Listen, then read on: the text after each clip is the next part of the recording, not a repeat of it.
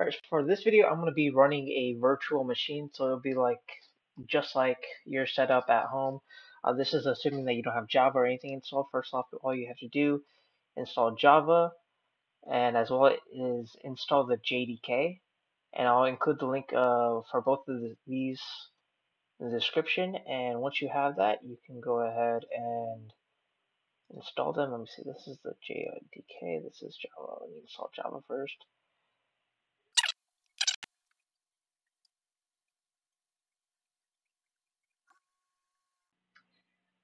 Okay, now that that's installed, I'm going to go to install the JDK.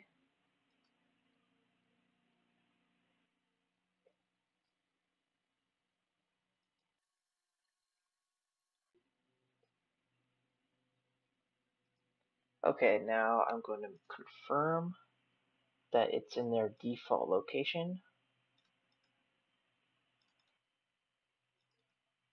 Yep, okay.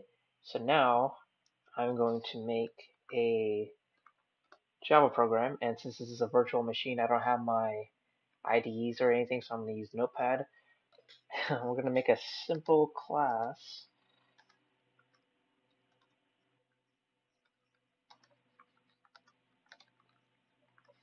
String parts, and within this, just confirming it works.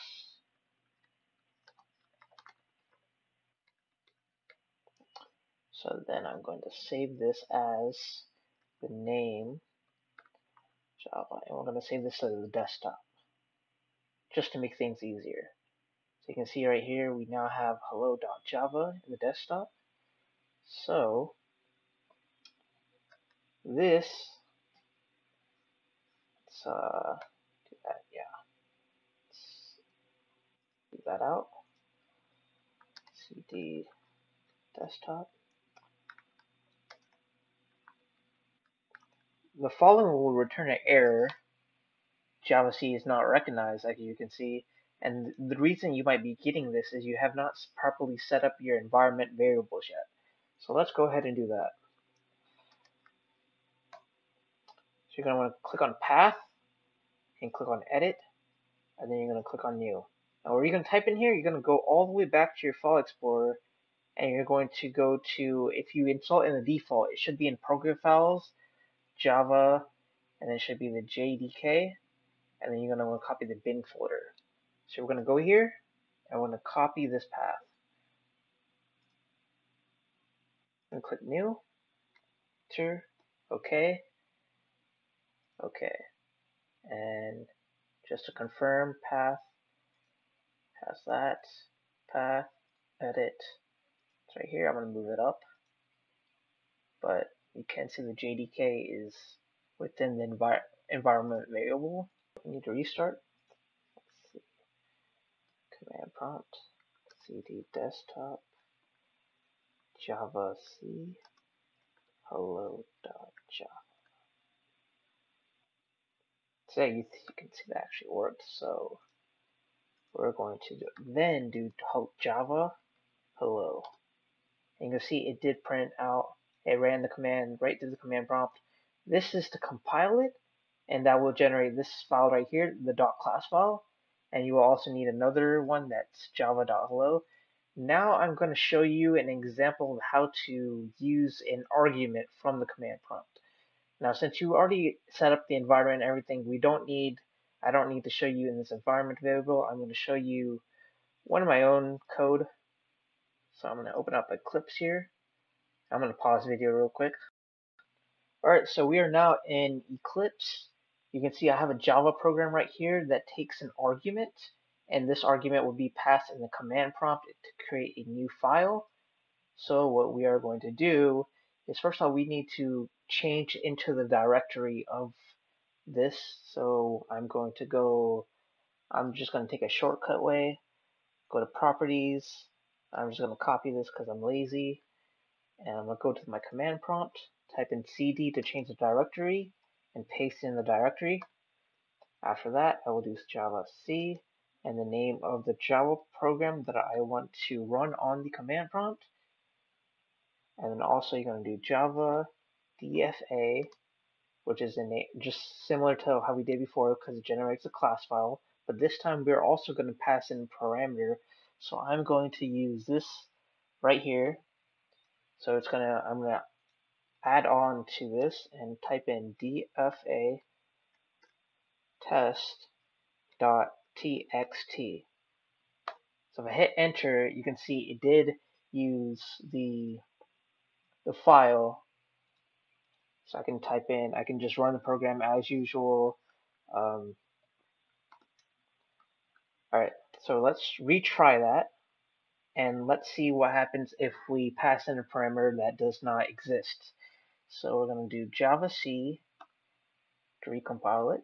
And we're going to access the nuclear, I probably spelled that wrong, launch codes dot txt.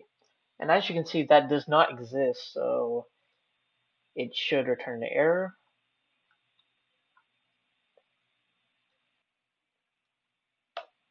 And you can see, it does not exist. Making sure that you have your envi environmental variables set up correctly. Once you get that correctly done, it should work flawlessly. You can run basically any program. So let me actually show that. So I'm going to open up a command prompt and I'm going to cd into the directory that contains this Java program that calculates your minimum final grade that you need on a final exam to get your desired grade. And we are going to compile it. So to compile it, you will write in Java C and the name of the class, calculator, and then dot .java. And then once it's compiled, you just do Java final grade calculator. Alright, enter the number of categories. You can see it just runs the program as it would if you ran it through the IDE. Let's do 33, um, 100, uh, 90. Let's just say yes anyways. It's not perfect math. I'm just showing that it does work through commands. 100,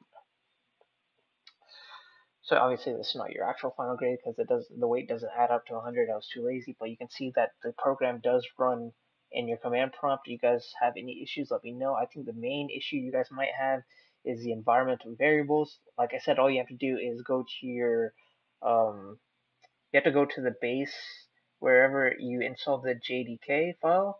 And for most people, if you didn't change the directory, it should be in your program files and into Java. So right here, can enter Java, and right here, this is mine, JDK. Um, and then just copy your bin folder. Oh, not paste. Copy it, and then put it in your environmental variable pathway.